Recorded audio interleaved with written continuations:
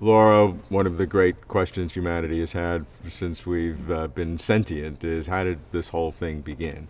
Uh, and in recent decades, uh, uh observational cosmology has really changed everyone's perception. Uh, uh, so let's focus on the beginning of the universe. And from your work as a, a quantum cosmologist, what can you say about the the, confidence level that you and your colleagues have about how this universe began? Uh, when it comes to the confidence level, that that's uh, uh, still very low, not, not just for myself and my colleagues, but, but anyone that ever came across that question how did our universe begin? Um, theoretically, we, we have um, a, a, very um, good answer to, to the question. However, we, we are talking about the, the ultimate uh, nature, at least of, of uh, our universe. So it, it's, uh, it's hard not to be humbled by that question as well um, do we know how the universe began? We, we can see observationally um, up to the first fraction of a second in, in our universe's existence. So up to that level, we, we have total confidence that we understand our universe, we, we know what happened. The big question is... But that's, that's from a theoretical point of view, because we can't see uh, prior to the ionization phase in terms of direct observation, right? Uh, that, that is true, but uh, we, we should be able to, to see even that, that part up, up to the, the first moment of existence uh, through um, other observational right. ways, such as uh, um, the, the uh, 21 centimeter cosmology, and, and there, there are a lot of, of ways to, to observe the universe all, all the way back to, to the uh, first moment of existence. And, and that is also the reason why this question of the origin of the universe has, has become frontier science and one of the most active areas of research at present, because we, we have reached that level where we have to face the question, but where did that come from? What gave uh, the energy of, of uh, cosmic inflation. Was there anything before? Can we even ask the question of what was there before?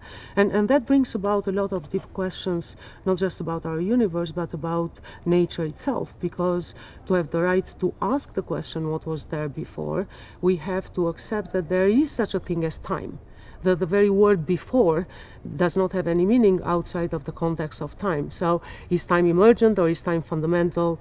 Uh, that, that's one other question related to, to the issue of the origins of the universe. And obviously In, the space-time relationship that came from Einstein um, lends very strongly to that because if you don't have any space and there's space-time, you, don't have the kind of time that we have in our universe. Uh, that, that's absolutely correct. And, and uh, when, when it comes to that uh, origin, that, to that first moment uh, of our universe's existence, uh, we, we are willing to, to accept that uh, we can study it by, by quantum theory. The reason being that the universe was tiny. It, it was uh, one of the smallest objects one can imagine. So it, it, it, it makes sense to, to accept that uh, that structure can be studied with, with uh, quantum theoretical rules. So right now, what, what is the, uh, the, the feeling that the universe was in its very, er, the smallest it was, much, order, many orders of magnitude smaller than the smallest particle that, that exists in the, nu- in, in, the, in the nucleus of, of an atom. It's far, far, far smaller than that. So yeah. 10 to the minus... 43 centimeters, yeah, which so is the Planck, Planck scale. Planck scale, which is the, theoretically the smallest possible uh, thing that can exist in yeah. theory. Yeah. So 10 to the minus 43. And, and the question, what was there before that 10 to the minus okay, 43? So what was it at that time? Uh, at that time, uh, we can think of the universe as, as a wave packet using the wave-particle duality. It, it's uh, equivalently, we can also think of it as a quantum particle. But, but uh, that universe was, uh, that tiny universe, uh, had a very high concentration of energy, and it was that energy that drove it in, into an explosion the question becomes what is that standard inflation theory? Yes. Yes. Yeah. But but where did that energy come from? Why did we have to start that way? Uh, Sir Roger Penrose in the 70s uh, calculated that mm. the probability to start with high energy inflation yeah. is ridiculously small. It's 10 to the power 10 to the power 123 uh, times. So that, it's that's a, it's 100. 23 z- zeros as a power. Exactly. As a so, power, yeah, not 10 just as a number.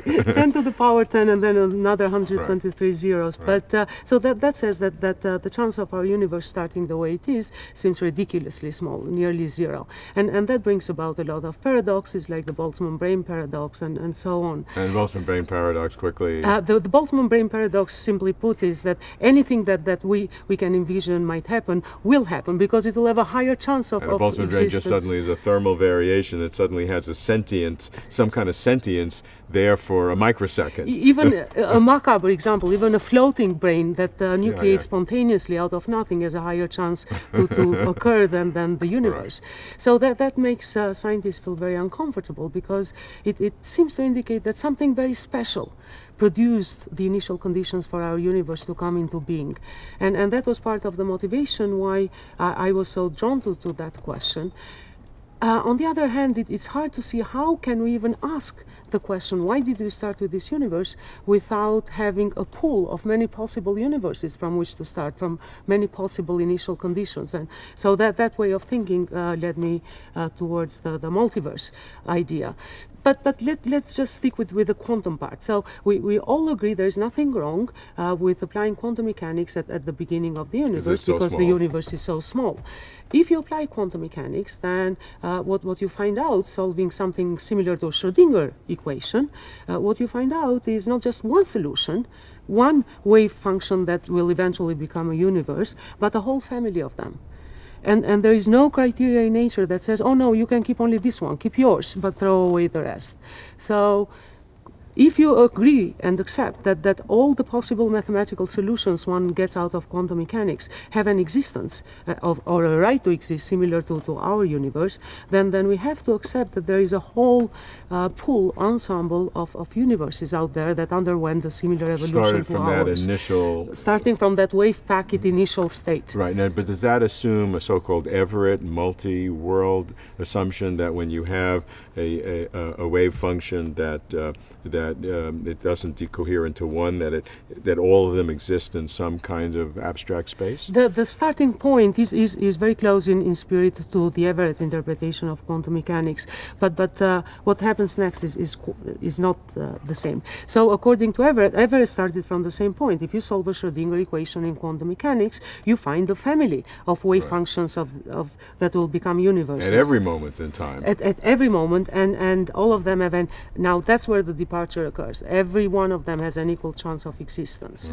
Um, in, in, uh, in the work uh, I've been doing in, in the theory of, uh, of the origin of the universe from a quantum multiverse uh, what, what you find out is that if you follow these wave functions and, and follow their evolution, see what happens to them, then there is a selection criteria that takes place that does not give all of them an equal chance of existence. If, we follow the dynamics of, of uh, gravitational degrees of freedom, which are given by the energy contained in, in each of these uh, wave packets, and the matter degrees of freedom, which are given by the quantum fluctuations that are always present, then, then it's very easy to see that what happens is locally every single wave packet will have the energy that is trying to, to make it explode, to make it grow, and it will have matter that is trying to crunch it into a black hole.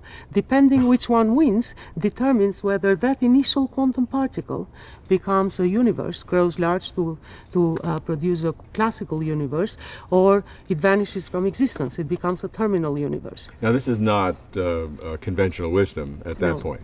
This is your wisdom. Uh, that, that is my wisdom based on, on very hard calculations. Okay, Yes. all right. I just want to, want to clarify. And, so, uh, yeah. but still, at the beginning of your universe, at the very beginning, you got a lot of stuff there. You you have a, a quantum wave packet. Yeah. You have assumptions. Uh, obviously, you have quantum theory and its full blown nature sitting there i- in existence, and you have uh, this different weighting in, in your explanation. You have the different weightings between gravity and matter in this Yeah. selection process. That's a lot of stuff, isn't it? Yes, and, and to make it work, to, to actually illustrate through a real calculation that, that uh, one can derive the answer to the question of the origin of the universe, uh, we consider the landscape of string theory to be that, that field of energies that, that we, we need for these wave functions to, to propagate through. So taking that as our working is, example, then, then um, conceptually straightforward. Calculationally is, is not straightforward, but um, conceptually, you have a, a wave packet, a wave function of the universe, which is made up of many of such particles, quantum particles or, or waves that, that will eventually, or branches that will produce universes. They are propagating through this structure of energies given by, by the landscape of string theory. At this stage, we have everything we need to, to find the probability where, of, of uh, where these wave functions will settle. What energies will they pick out of, of this vast landscape of energies?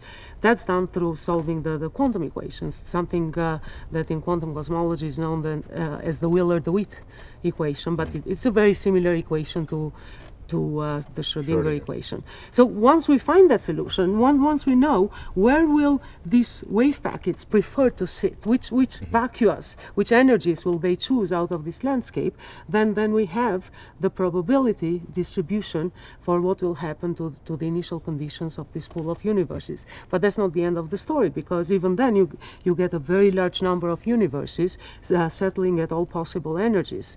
At this All stage, different laws of physics. Because and different constants of nature. Yeah. So at, at this stage, the, the dynamics becomes extremely important because not all of these wave functions will produce universes. The ones that, that settle at very shallow energies, they will not be able to survive this back reaction of matter. They will never be able to grow, to explode. Mm. So they, they will become terminal quantum particles. Uh-huh. But only the ones that, that settle at very high energies in the landscape, they, they will undergo cosmic inflation and, and produce a classical universe. Mm. Still quite a lot of them, though. Hmm. yeah.